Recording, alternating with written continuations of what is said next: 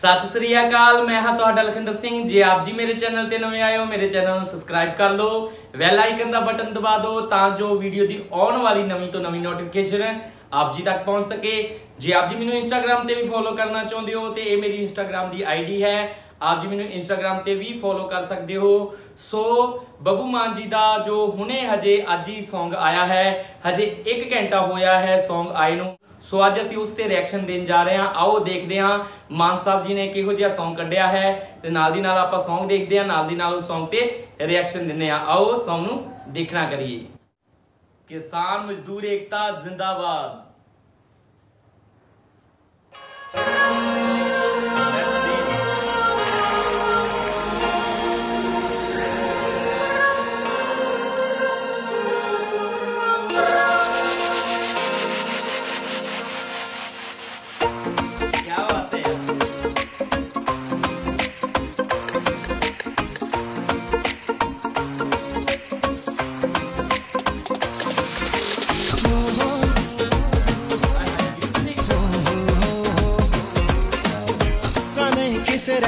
Rat race ਦਾ ਚਾਲ Arabia ਹੈ ਜੱਟ ਦੀ। ਹਾਲਦਾ ਨਹੀਂ ਦੀਵਾ ਚੰਨ ਚਾੜਦਾ।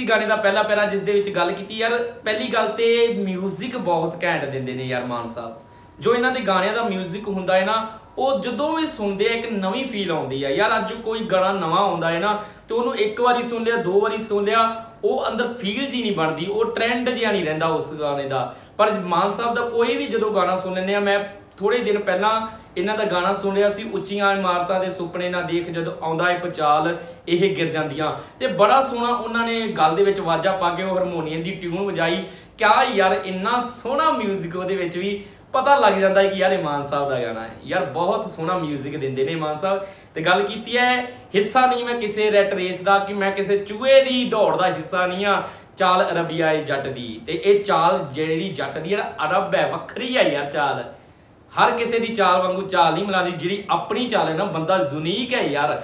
ਆਪਣੀ ਕੁਆਲਿਟੀ ਪਹਿਚਾਨ ਕੇ ਅੱਗੇ ਰੱਖੋ ਯਾਰ। ਕਿਸੇ ਦੀ ਕਾਪੀ ਨਹੀਂ ਕਰਕੇ ਚੱਲਣੀ ਯਾਰ। ਬੰਦਾ, ਹਾਂ, ਇਹ ਵੀ ਗੱਲ ਯਾਦ ਰੱਖਿਓ, ਕੋਈ ਚੰਗੀ ਚੀਜ਼ ਮਿਲਦੀ ਆ, ਉਸ ਚੀਜ਼ ਦੀ ਅਸੀਂ ਕਾਪੀ ਕਰੀਏ, ਪਰ ਜ਼ਿੰਦਗੀ ਦੇ ਵਿੱਚ ਇਹੋ ਜਿਹਾ ਰੱਖੋ ਕਿ ਤੁਹਾਡੀ ਕੋਈ ਕਾਪੀ ਕਰੇ ਯਾਰ। ਤੁਸੀਂ ਕਿਸੇ ਦੀ ਐਗਜ਼ਾਮਪਲ ਬਣ ਜਾਓ, ਯਾਰ ਇਹੋ ਜਿਹਾ ਬਣ ਕੇ ਦਿਖਾਇਓ। ਤੇ ਹਰ ਬੰਦਾ ਕਿਸੇ ਵਾਸਤੇ ਕੋਈ ਐਗਜ਼ਾਮਪਲ ਬਣ ਜਾਵੇ। ਯਾਰ ਅਸੀਂ ਕਿਸੇ ਦੂਜੇ ਦੀ ਐਗਜ਼ਾਮਪਲ ਨਾ ਦਈਏ ਕਿ ਯਾਰ ਆਹ ਬੰਦਾ ਐਗਜ਼ਾਮਪਲ ਆਹ ਬੰਦੇ ਦੀ ਇਹੋ ਜਿਹੀ ਐਗਜ਼ਾਮਪਲ ਹੈ। ਯਾਰ ਖੁਦ ਮਿਸਾਲ ਬਣ ਜਾਓ, ਖੁਦ ਐਗਜ਼ਾਮਪਲ ਬਣ ਜਾਓ। ਆਓ ਸੌਂਗ ਨੂੰ ਅੱਗੇ ਦੇਖਣਾ ਕਰੀਏ।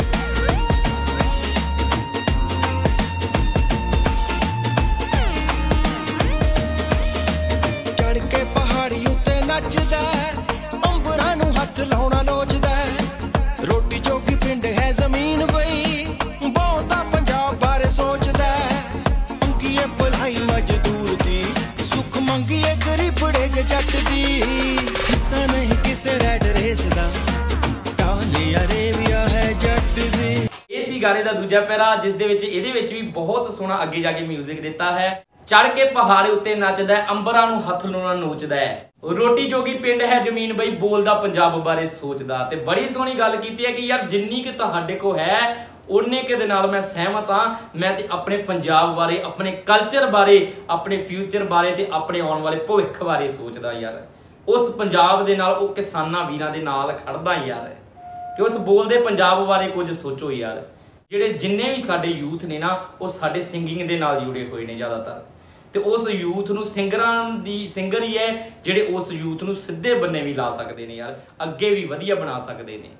ਮੰਗੀਏ ਭਲਾਈ ਮਜ਼ਦੂਰੀ ਸੁਖ, ਮੰਗੀਏ ਗਰੀਬਰੇ ਦੇ ਜੱਟ ਦੀ। ਕਿ ਮੰਗੀਏ ਭਲਾਈ ਮਜ਼ਦੂਰ ਦੀ ਤੇ ਉਸ ਮਜ਼ਦੂਰ ਦੀ ਯਾਰ, ਉਸ ਜਿਹੜੇ ਨੀਵੇਂ ਦੀ ਵੀ ਭਲਾਈ ਮੰਗਿਆ ਕਰੋ ਯਾਰ।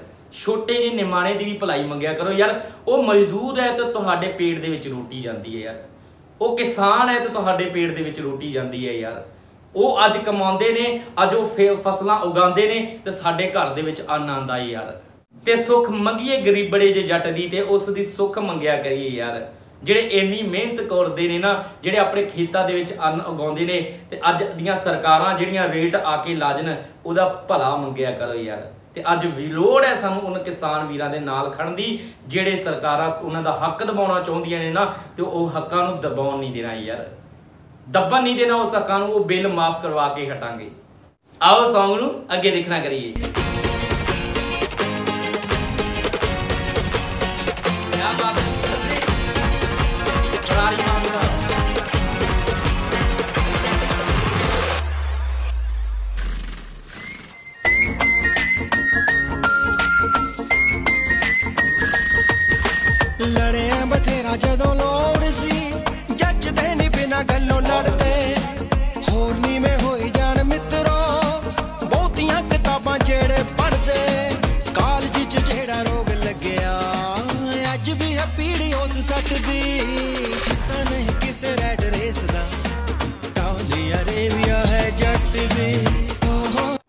ਇਹ ਗਾਣੇ ਦਾ ਤੀਜਾ ਪੈਰਾ ਜਿਸ ਦੇ ਵਿੱਚ ਮਾਨ ਸਾਹਿਬ ਨੇ ਗੱਲ ਕੀਤੀ ਹੈ ਕਿ ਲੜਿਆ ਬਥੇਰਾ ਜਦੋਂ ਲੋੜ ਸੀ ਤੇ ਜੱਚਦੇ ਨਹੀਂ ਬਿਨਾਂ ਗੱਲੋਂ ਲੜਦੇ।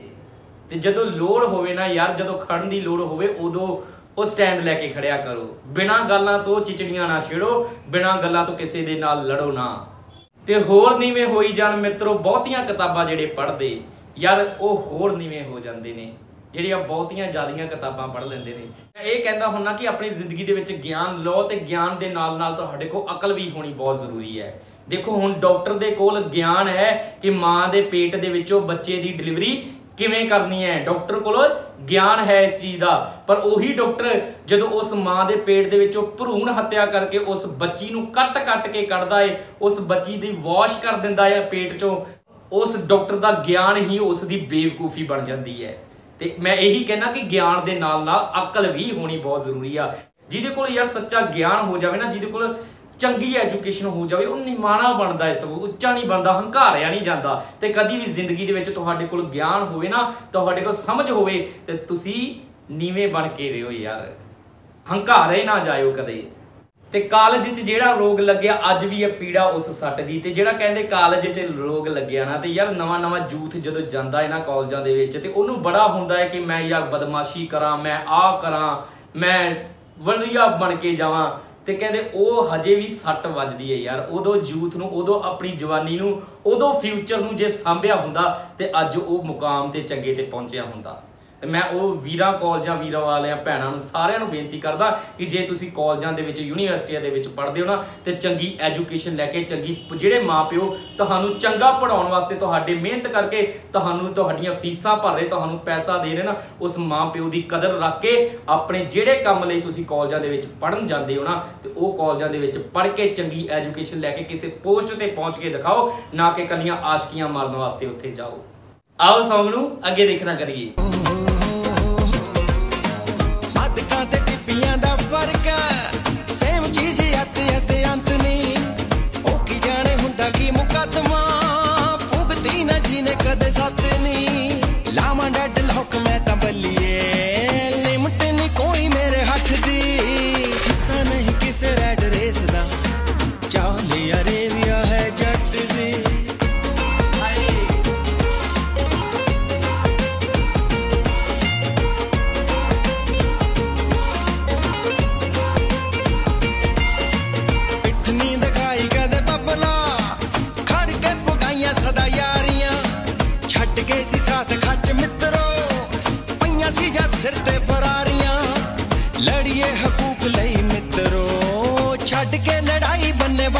ਹਿੱਸਾ ਨਹੀਂ ਕਿਸੇ ਰੈਡ ਰੇਸ ਦਾ।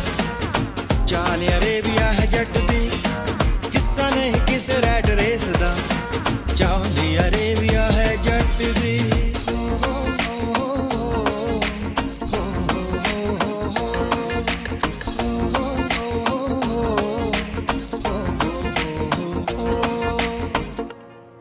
ਇਸ ਦੇ ਵਿੱਚ ਗੱਲ ਕੀਤੀ ਹੈ ਕਿ ਪਿੱਠ ਨਾ ਦਿਖਾਈ ਕਦੇ ਬਬਲਾ। ਤੇ ਖੜ ਕੇ ਪੁਗਾਈਆਂ ਸਦਾ ਯਾਰੀਆਂ। ਛੱਡ ਗਏ ਜੀ ਸਾਥ ਖੱਚ ਮਿੱਤਰੋ, ਪਈਆਂ ਸੇ ਜੀ ਸਿਰ ਤੇ ਫਰਾਰੀਆਂ। ਤੇ ਬੜੀ ਸੋਹਣੀ ਮਾਨ ਸਾਹਿਬ ਨੇ ਗੱਲ ਕੀਤੀ ਕਿ ਕਦੀ ਪਿੱਠ ਨਹੀਂ ਦਿਖਾਈ ਤੇ ਖੜ ਕੇ ਯਾਰੀਆਂ ਪੁਗਾਈ ਏ ਤੇ ਛੱਡ ਗਏ ਸੀ ਖੱਚ ਸਾਥ ਮਿੱਤਰੋ, ਪਈਆਂ ਜਦੋਂ ਸਿਰ ਤੇ ਫਰਾਰੀਆਂ। ਯਾਰ ਜਦੋਂ ਸਿਰ ਤੇ ਸਾਥ ਛੱਡ ਜਾਂਦੇ ਨੇ, ਜਦੋਂ ਕਿਸੇ ਨੂੰ ਪੈਸਿਆਂ ਦਾ ਮੋਹ ਹੋ ਜਾਵੇ, ਜਦੋਂ ਕਿਸੇ ਨੂੰ ਪੈਸਿਆਂ ਦਾ ਲਗਾਵ ਹੋ ਜਾਵੇ ਨਾ ਜ਼ਿਆਦਾ ਤੇ ਉਦੋਂ ਉਹਨੂੰ ਫਰਾਰੀਆਂ ਜਦੋਂ ਸਿਰ ਤੇ ਉੱਤੇ ਗੱਡੀਆਂ ਘੁੰਮਣ ਨਾ, ਜਦੋਂ ਉਹਦੇ ਤਾਜ ਘੁੰਮਣ, ਤੇ ਉਹ ਅਗਲਾ ਯਾਰ ਆਪਣੀ ਅਣਖ ਭੁੱਲ ਜਾਂਦਾ ਏ। ਆਪਣੇ ਜ਼ਮੀਰ ਨੂੰ ਮਾਰ ਬੈਠਦਾ ਏ। ਤੇ ਯਾਦ ਰੱਖਿਓ, ਕਦੇ ਵੀ ਜ਼ਿੰਦਗੀ ਦੇ ਵਿੱਚ ਭਾਵੇਂ ਤੁਸੀਂ ਜਿੱਡੇ ਮਰਜ਼ੀ ਮੁਕਾਮ ਤੇ ਪਹੁੰਚ ਜਿਓ, ਪਰ ਰਹਿਓ ਨਿਮਾਣੇ ਬਣ ਕੇ। ਰਹਿਓ ਨੀਵੇਂ ਬਣ ਕੇ ਯਾਰ। ਤੇ ਗੁਰਬਾਣੀ ਵੀ ਕਹਿੰਦੀ, ਮਿੱਠਤ ਨੀਵੀਂ ਨਾਨਕਾ, ਗੁਣ ਚੰਗੀਆਂ ਆਈਆਂ ਤਤ। ਤੇ ਜਦੋਂ ਬੰਦੇ ਦੇ ਵਿੱਚ ਜਿੰਨੀ ਕੁਆਲਿਟੀ ਆਵੇ, ਜਿੰਨਾ ਗੁਣ ਪ੍ਰਗਟ ਹੋਵੇ ਨਾ, ਤੇ ਨਿਮਾਣਾ ਬਣ ਜਾਂਦਾ ਏ ਅਗਲਾ। ਲੜੀਏ ਹਕੂਕ ਲਈ ਮਿੱਤਰੋ, ਛੱਡ ਕੇ ਲੜਾਈ ਬੰਨੇ ਵੱਟ ਦੀ ਯਾਰ, ਲੜਨਾ ਹੈ ਨਾ, ਤੇ ਜੋ ਅੱਜ ਕਿਸਾਨੀ ਧਰਨਾ ਮੋਰਚਾ ਲੱਗਾ ਹੈ ਨਾ, ਉਹਨਾਂ ਦੇ ਹੱਕਾਂ ਪ੍ਰਤੀ ਆਪਣੇ ਲੜੋ। ਉਸ ਕਿਸਾਨ ਵੀਰਾਂ ਦੇ ਨਾਲ ਕਰੋ ਤੇ ਲੜਾਈ ਬੰਨੇ ਵੱਟ ਦੀ ਛੱਡ ਦਿਓ ਯਾਰ। ਕਿਤੇ ਤੂੰ ਤੂੰ ਮੈਂ ਮੈਂ ਛੱਡ ਦਿਓ ਯਾਰ ਵਿੱਚ। ਜੈਲਸ ਫੀਲ ਕਰਨੀ ਛੱਡ ਦਿਓ। ਕੀ ਤੁਸੀਂ ਇੱਕ ਦੂਜੇ ਦੇ ਪਿੱਛੇ ਲੜਾਈਆਂ ਲੱਗ ਕੇ ਤੁਸੀਂ ਲੜਾਈਆਂ ਜੈਲਸ ਫੀਲ ਕਰਦੇ ਹੋ? ਯਾਰ, ਇੱਕ ਬੰਨੇ ਹੋ ਕੇ ਸਾਰੇ ਇੱਕ ਇਕਜੁੱਟ ਮਿਲ ਕੇ ਉਸ ਸਰਕਾਰਾਂ ਜਿਹੜੀਆਂ ਸਾਡੇ ਹੱਕ ਮਾਰਨਾ ਚਾਹੁੰਦੀ ਨਾ, ਉਹਨਾਂ ਸਰਕਾਰਾਂ ਪਿੱਛੇ ਡਟ ਕੇ ਖੜੀਏ ਯਾਰ। ਤੇ ਲੜਾਈ ਬੰਨੇ ਦਾ ਵੱਟ ਦੀ ਲੜਾਈ ਨਾ ਹੋਵੇ ਯਾਰ। ਇੱਕ ਲੜਾਈ ਸਾਡੀ ਹੋਵੇ, ਸਾਡੀ ਏਕਤਾ ਦੇ ਵਿੱਚ ਬਣ ਕੇ ਅਸੀਂ ਉਹ ਸਰਕਾਰਾਂ ਜਿਹੜੀਆਂ ਬਣਾਈਆਂ ਨੇ, ਉਹ ਸਰਕਾਰਾਂ ਦੇ ਨਾਲ ਅੱਡਾ ਲਾਈਏ ਯਾਰ। ਸਾਰੇ ਇਕਜੁੱਟ ਹੋ ਕੇ। ਤੇ ਇਸ ਕਰਕੇ ਕਦੀ ਵੀ ਆਪਣੇ ਆਪ ਤੇ ਕਿਸੇ ਪੈਸੇ ਨੂੰ, ਕਦੀ ਵੀ ਆਪਣੇ ਆਪ ਤੇ ਕਿਸੇ ਗੁਣ ਨੂੰ ਹਾਵੀ ਨਾ ਹੋਣ ਦਿਓ ਯਾਰ। ਨਿਮਾਣੇ ਬਣ ਕੇ ਰਿਓ ਸੱਚੇ ਬਣ ਕੇ ਰਿਓ, ਅਕਲ ਦੇ ਨਾਲ ਰਿਓ। ਬਹੁਤ ਸੋਹਣਾ ਇਮਾਨ ਸਾਹਿਬ ਜੀ ਨੇ ਗੋ ਲਿਖਿਆ ਹੋਇਆ ਤੇ ਗਾਇਆ ਹੋਇਆ। ਮੈਨੂੰ ਬਹੁਤ ਸੋਹਣਾ Song ਲੱਗਾ। ਤੇ ਦੱਸਣਾ ਕਰਿਓ ਕਿ ਇਹ Song ਤੁਹਾਨੂੰ ਕਿਵੇਂ ਦਾ ਲੱਗਾ? ਮੇਰਾ ਦਿੱਤਾ ਹੋਇਆ ਰਿਐਕਸ਼ਨ ਆਪ ਜੀ ਨੂੰ ਕਿਵੇਂ ਦਾ ਲੱਗਾ? ਜੇ ਆਪ ਜੀ ਮੇਰੇ ਚੈਨਲ ਤੇ ਨਵੇਂ ਆਏ ਹੋ ਤੇ ਮੇਰੇ ਚੈਨਲ ਨੂੰ ਸਬਸਕ੍ਰਾਈਬ ਕਰ ਦਿਓ। ਵੈਲ ਆਈਕਨ ਦਾ ਬਟਨ ਦਬਾ ਦਿਓ ਤਾਂ ਜੋ ਵੀਡੀਓ ਦੀ ਆਉਣ ਵਾਲੀ ਨਵੀਂ ਤੋਂ ਨਵੀਂ ਨੋਟੀਫਿਕੇਸ਼ਨ ਆਪ ਜੀ ਤੱਕ ਪਹੁੰਚ ਸਕੇ। ਜੇ ਆਪ ਜੀ ਮੈਨੂੰ ਇੰਸਟਾਗ੍ਰam ਤੇ ਫੋਲੋ ਕਰਨਾ ਚਾਹੁੰਦੇ ਹੋ ਤੇ ਮੇਰੀ ਇੰਸਟਾਗ੍ਰam ਦੀ ਆਈਡੀ ਇਹ ਹੈ। ਆਪ ਜੀ ਮੈਨੂੰ ਇੰਸਟਾਗ੍ਰam ਤੇ ਵੀ ਫੋਲੋ ਕਰ ਸਕਦੇ ਹੋ। ਸੋ ਅਗਲੀ ਵੀਡੀਓ ਲੈ ਕੇ ਬਹੁਤ ਜਲਦੀ ਮਿਲਦੇ ਹਾਂ। ਉਦੋਂ ਤੱਕ ਲਈ ਸਤਿ ਸ੍ਰੀ ਅਕਾਲ।